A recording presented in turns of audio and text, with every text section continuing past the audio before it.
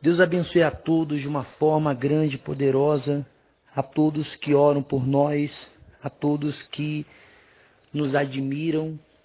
Antes de tudo, saibam, nós estamos na fé, eu juntamente com a minha esposa. Nós estamos estreitando ainda mais a nossa comunhão com Deus. Até porque se a nossa vida com Deus se limita a uma instituição, então nós nunca conhecemos a Deus. Mas se a nossa vida com Deus depende da nossa entrega no altar dele, então, mais do que nunca, nós podemos afirmar que nós estamos na fé. Nós estamos na fé. A nossa decisão em sair da Igreja Universal do Reino de Deus e, consequentemente, também da obra, foi por motivo é, de não aceitarmos mais a situação na qual é, estávamos condicionados pela instituição. O que me motivou a fazer a obra de Deus, primeiro, foi o meu encontro com Deus, Espírito Santo na minha vida, como alguns já presenciaram uma pregação que nós fizemos, onde a gente falava que o Espírito Santo ele não diminui para entrar na gente. Quando ele vem sobre uma pessoa, ele transborda sobre nós. Então, esse transbordar do Espírito Santo sobre a vida de uma pessoa cria dentro dela uma vontade incondicional, incontrolável de ganhar almas, porque ele é muito grande para ficar só dentro da gente. Então eu passei a ter esse desejo de ganhar almas. Porém, eu tinha o meu trabalho, eu estudava, né? Mas eu pensava o seguinte: poxa, o pastor ele vive exclusivamente para ganhar almas. Ele tem 24 horas do dia dele só para isso. A princípio, eu não tinha interesse de fazer a obra como pastor, porque era um período que eu estava estudando muito, né? E eu estava começando a me preparar para poder prestar um vestibular para direito. Mas o desejo de ganhar almas foi mais forte. Então, quando surgiu a oportunidade, né, eu ingressei na obra como obreiro. Então veio o chamado para fazer a obra de Deus no altar e eu vi ali como Deus me chamando e não neguei o chamado. Assumi o meu chamado e fui para a obra. Muito bem. Dentro da Igreja Universal, como pastor, Muitas das vezes errei, falhei, fui imaturo.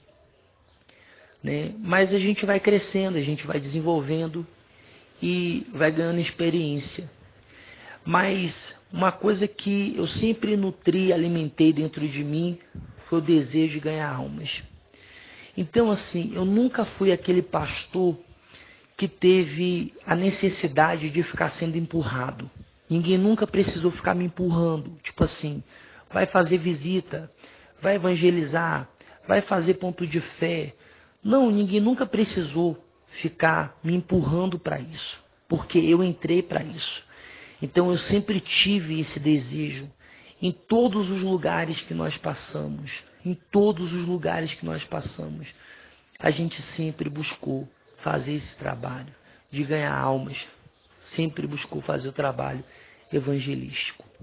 Só que quando eu era auxiliar de pastor, então eu me via muitas das vezes limitado, porque o, o meu pastor titular na época, ele dizia que eu não poderia trabalhar para a minha reunião, para desenvolver a minha reunião.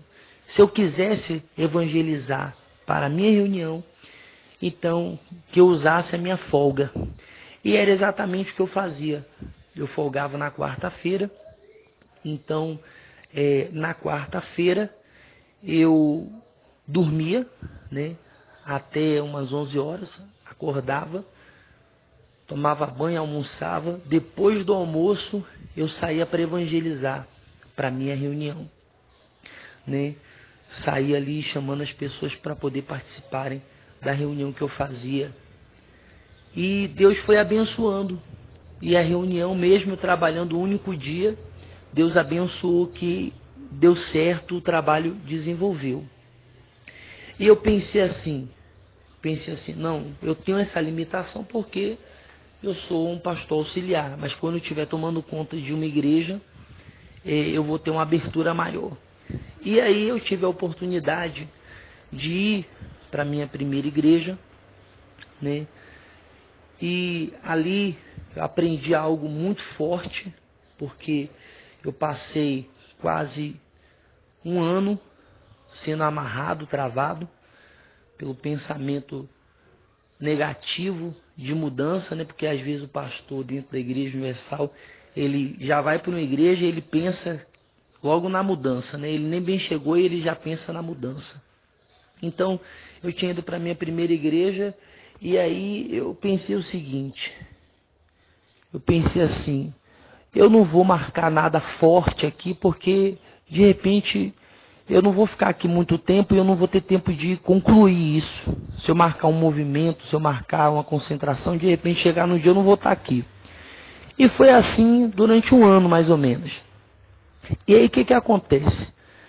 Eu fui para uma aula de pastor, quando eu voltei dessa aula, eu já falo com Deus, ó Deus, se eu voltar eu vou fazer. E eu voltei. E quando eu voltei, eu fui lá e fiz. Graças a Deus arrebentou. Foi uma bênção. Então, a partir daquele dia, eu sempre coloquei dentro de mim, nunca mais o diabo ele vai me enganar com esse pensamento de troca, de mudança. Quando eu chegar em um lugar, eu já vou fazer logo. Então, a partir desse, desse momento, todas as vezes que eu chegava em uma igreja, já nos primeiros três meses, seis meses, eu já procurava fazer algo forte, porque geralmente as igrejas no interior elas não têm tanta força, não têm tanta expressão. A maioria das vezes tem outras igrejas que têm mais força, mais expressão do que a Universal. Então eu nunca aceitei isso, eu nunca aceitei que a Igreja Universal fosse mais uma na cidade em que eu estava porque eu sempre acreditei em uma mensagem do Bispo Macedo que diz assim: é, nós não podemos aceitar que a Igreja Universal seja mais uma, tem que acontecer algo maior, algo mais expressivo e tal. Então eu sempre tive essa mensagem dentro de mim, de a gente não aceitar que a Universal fosse mais uma no meio da multidão. Muito bem. Então, diante disso, a gente sempre buscou fazer o trabalho. Mas por muitas vezes, não foi uma, nem duas, nem cinco, nem dez. Por muitas vezes, os meus líderes, aqueles que me lideraram, não todos, mas na sua grande maioria, eles sempre buscaram me amarrar. Eles sempre buscaram me travar. Então eu passei em lugares onde a igreja alagava, o povo estava ali. Eu mudei. Fui fazer reunião no clube da cidade. Não tinha nem obreiro nessa cidade. Estourou o trabalho. Só que o pastor, ele me proibiu de fazer no clube. Tudo bem. Quando eu chegava em uma região, às vezes, o líder, ele chegava para mim e falava assim, ó oh, rapaz, eu sei que você gosta de trabalhar e tudo, mas não é para você ficar inventando nada não. Esse inventar que ele falava era porque eu queria fazer é, um movimento que atraísse muitas pessoas. Então, eles já buscavam falar dessa forma. Ó, oh, não é para inventar nada lá não. Não é para inventar nada lá não. Entendeu? Faz o seu trabalhozinho arroz com feijão e tal. Quer dizer, em outras palavras, vai lá para a igreja, se tiver uma pessoa, você faz a reunião, se tiver dez, você faz a reunião e fique na sua. Tudo bem. E aí, diante disso, foi indo uma vez, foi duas, foi três, enfim, foram várias vezes que isso aconteceu. Né? Porque se eu ficar enumerando aqui, eu tenho todos os detalhes em relação a isso aí. Só que assim, o que que acontece? Para mim, diante de tudo isso, o estopim de tudo isso para mim aconteceu aí na cidade de Paramirim. Por quê? Nós tivemos aí é, o movimento né, do dia M, o dia do milagre. para eu fazer esse movimento aí, eu tive que enfrentar, eu tive que enfrentar a liderança aqui é, de Vitória da Conquista. Porque pelo pastor de Vitória da Conquista, eu não faria esse evento. Eu não faria esse movimento. Entendeu? Eu não faria. Porque quando eu fui para Paramirim, ele já disse para mim: não é para você fazer nada lá não. Não inventa nada. Eu sei que você gosta de fazer reunião em ginásio e tal, entendeu? Mas não é para você fazer nada lá não. Faz o seu trabalho na sua direitinho e não inventa nada. Entendeu, dona? Falou até com a minha esposa que estava na hora e, e é testemunha. E aí tudo bem. Só que quando eu cheguei aí, como que eu vou aceitar? A gente não tem rádio, não tem TV, nós estamos no sertão, entendeu? A igreja não tinha força, não tinha expressão, era mais uma no meio da multidão aí. Então eu não aceitei. Eu não aceitei porque eu não entrei para isso. Eu não entrei para ser mais um no meio da multidão. Eu não aceitei isso. Por quê? Porque Deus não me chamou para isso. Deus não me chamou simplesmente para ir ali fazer uma reunião. Ele não me chamou só para isso. Eu tenho fé de fazer reunião com uma pessoa. Já fiz várias vezes reunião com uma pessoa dentro da igreja universal entendeu? Mas se eu tiver a oportunidade de fazer com milhares e com milhões, qual o problema? Qual o problema? Então eu comprei a briga daí e eu fui lá e fiz. Quando eu fiz esse evento aí, né, eu fui eu fui rechaçado, eu fui retalhado. Só que eu não falei nada, eu não comentei nada por uma questão de é, é, é preservar né, o povo. Então eu não comentei nada. Mas eu já marquei um outro para novembro. Então, quando eu marquei o evento de novembro, seria para aproximadamente 5 mil pessoas. Então, quando eu marquei o evento de novembro, então eu tinha que comunicar a liderança. Né? E eu fui lá e comuniquei. E aí, eu comuniquei, mas já sabia que seria posto todo tipo de obstáculo, empecilho, para eu não fazer. Então, o que, que acontece? Eu fui lá e comuniquei. Quando eu comuniquei, ele falou que eu não deveria fazer, que era proibido levar cantor, que eu ia levar novamente o Ed Farias, que era proibido levar cantor, que não era para fazer, entendeu? E a ordem era essa, não é para fazer. Então eu pensei assim, peraí, eu entrei na aula para ganhar almas. Eu tenho a oportunidade de fazer algo que vai alcançar milhares de pessoas. Que eu vou poder anunciar a palavra de Deus e mostrar o poder de Deus a milhares de pessoas. E eu estou sendo proibido de fazer isso. Quer dizer, quem deveria me apoiar, quem deveria me ajudar, está me amarrando, está me travando. Então eu fui impossibilitado de fazer. Então quando eu fui impossibilitado de fazer esse movimento, né, que ia alcançar milhares de pessoas, algo que nunca aconteceu. Então, quando eu fui impossibilitado, então uma revolta, uma indignação muito grande tomou conta de mim.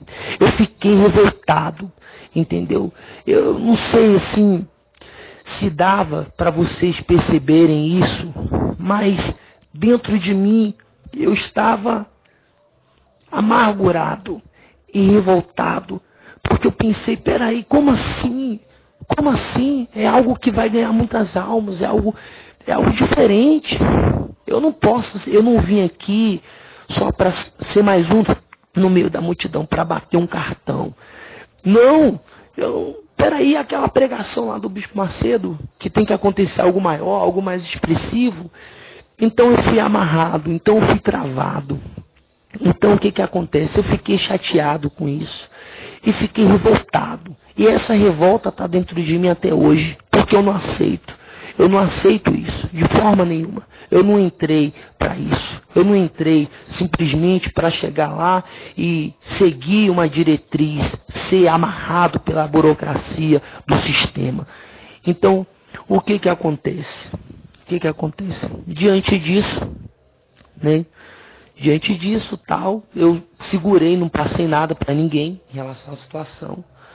Mas eu acredito que todo mundo principalmente os grupos, percebeu né, em mim uma certa insatisfação em relação a isso.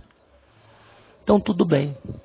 Aí diante disso surgiu a questão de um e-mail que mandaram meu, né, falando que eu ia distribuir o óleo aí, o óleo que estava dando em todo lugar, todo lugar estava dando esse óleo, porque foi o óleo que veio lá do Monte Hermon e tal, e tudo bem. O bispo da época decidiu que eu viesse a sair daí e eu fui lá para 7 de abril. Né? Só que quando eu cheguei em 7 de abril, trabalhei, coloquei toda a minha força, fiz de tudo para cuidar do povo, auxiliar o pessoal que estava lá. Mas eu fiquei, eu fiquei ainda com aquela situação na minha cabeça. Eu falei assim, tudo bem, eu vou ficar aqui. Mas daqui a pouco vai surgir uma oportunidade de eu ir para outra igreja. E quando eu for para essa outra igreja, vai ser como? Mais uma vez, vão chegar para mim e vão falar para mim: faz o seu trabalhozinho, arroz com feijão, não inventa nada. Mais uma vez vão ficar me amarrando, vão ficar me travando. É isso que vão fazer. Então, sabe de uma, eu não quero mais. Eu vou sair e eu vou iniciar um trabalho. Porque se realmente se realmente Deus me chamou, eu não posso aceitar ficar travado, eu não posso aceitar ficar amarrado. Então, diante disso, entendeu? Eu comuniquei à minha esposa que eu não ia mais ficar, que eu não ia mais ficar, entendeu? Eu não ia mais ficar por causa disso, entendeu? Nós não roubamos a igreja, pelo contrário, roubamos a igreja. Que roubamos a igreja? Pelo contrário, eu sempre somei com a igreja entendeu? Eu sempre desenvolvi o trabalho, entendeu? Eu nunca, eu nunca deixei uma igreja que a gente passou fechar no vermelho, ficar em déficit, nunca, nunca. Pelo contrário, a gente sempre somou com a igreja, entendeu? Então, assim, eu não adulterei. Pelo contrário, se, se fosse simplesmente uma questão de pecado, seria menos mal. Por quê? Porque se eu tivesse simplesmente pecado, entendeu? Ah, pecou, pecou, confessa, se arrepende, abandona, eu, eu começaria tudo do zero. Mas a questão não é essa, a questão é que eu me, eu me senti amarrado, eu me senti travado, entendeu? É como, é como se alguém quisesse colocar você dentro de uma garrafa e dissesse assim, ó, fica voando aqui dentro dessa garrafa, entendeu? É como um exemplo que eu já dei uma vez, é como pegar uma águia, soltar ela dentro de uma casa e falar assim, ó, voa alto. Como que a águia vai voar alto dentro da casa? Não tem como. Não tem como. Por isso que eu postei um vídeo, não sei se vocês viram, um vídeo que eu falei assim, o céu não tem teto. Quer dizer, Deus não botou um teto no céu. Nem Deus limita ninguém. Entendeu? A pessoa vai até onde ela tiver fé de ir. Até onde ela tiver fé de ir. Então, diante disso, eu tomei a decisão de sair da, da Igreja Universal do Reino de Deus. Não do altar, não do altar. Porque nunca, jamais eu vou sair do altar. Nunca, jamais eu vou sair do altar. Entendeu? Mas tomei a decisão de sair. Então, eu tomei a decisão de sair, falei com a minha esposa. E nós fomos lá e saímos. Nós fomos lá e saímos. Só que antes de sair, tinha, ou melhor, tem um obreiro que já foi é, pastor da igreja, né? E eu perguntei para ele se ele não tinha fé de iniciar um trabalho junto comigo. E ele, a princípio, tinha dito que sim. E eu acreditei no que ele falou. Ele falou que tinha, tudo bem. Então eu já tinha essa decisão. Né? Daqui a pouco foi é, enviado um e-mail falando que eu tinha o pensamento de sair da obra, que eu queria iniciar um trabalho e tal. E então isso chegou até a direção, então eu fui lá e saí. Confirmei, mas vem cá, você realmente tem esse desejo? Eu falei, tenho. Tenho por isso, isso e isso, porque eu me senti amarrado, travado, não quero igreja, não quero região, vou pegar igreja, vou pegar região para quê? Para ficar lá mais uma vez amarrado, para ficar mais para ficar lá mais uma vez travado, entendeu? Então, eu não aceitei e saí. Nós estamos na fé. Vamos iniciar um trabalho na cidade de Vitória da Conquista, entendeu? Não sei, eu sei que às vezes as pessoas elas mentem, elas, elas criam várias ilusões, entendeu? É mentira. Nós não saímos por nenhum outro motivo, nós saímos por esse motivo.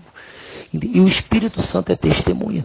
Então, como que eu posso aceitar? Eu passei no sertão, eu sei como é aí. Eu sei como é cidades de 5, 3, 10 mil habitantes entendeu? Eu não estou lá no ar-condicionado, na TV, no rádio, entendeu? Eu, eu, tenho as pernas, eu tenho a voz, então a gente vai com o que tem. entendeu? Então, por esse motivo, nós nos desligamos. E para mim, o estopim foi o que aconteceu aí, entendeu? Não em relação a, a, ao e-mail, não, isso é insignificante, mas em relação ao, ao ter sido travado, porque o certo era a gente ter sido apoiado. Não, a gente apoia a sua decisão de fazer isso. E você está precisando de quê para fazer? Deveria ser assim. Não, poxa, você está tendo coragem de fazer isso? Tá certo. Você precisa de quê para fazer? Como que você vai fazer? A gente não vai proibir você de fazer, mas como que você vai fazer? É isso aí, entendeu? É, mas infelizmente não foi assim. Não vou criticar a igreja, não vou falar mal da igreja, até porque já tem que faça isso. E o meu ministério não é falar da vida dos outros, meu ministério é falar de Jesus. Então, nós saímos por isso. E nós vamos iniciar um trabalho e sei que quando a gente iniciar o trabalho, vão falar mal, vão criticar, entendeu? Mas eu nunca me preocupei com isso, né? Até porque quem, quem, quem quem é pastor na Igreja Universal já está acostumado a críticas. Essa que é a realidade porque eu fui pastor durante quase 11 anos. Então, se tem uma coisa que eu estou acostumado é a críticas, porque eu saía para evangelizar, não ficava no escritório no bem bom. Então, eu, eu já vi muitas críticas. Então, quem é da Igreja Universal já está acostumado a críticas. Então, para mim, tanto faz, tanto fez. Mas nós vamos fazer o trabalho.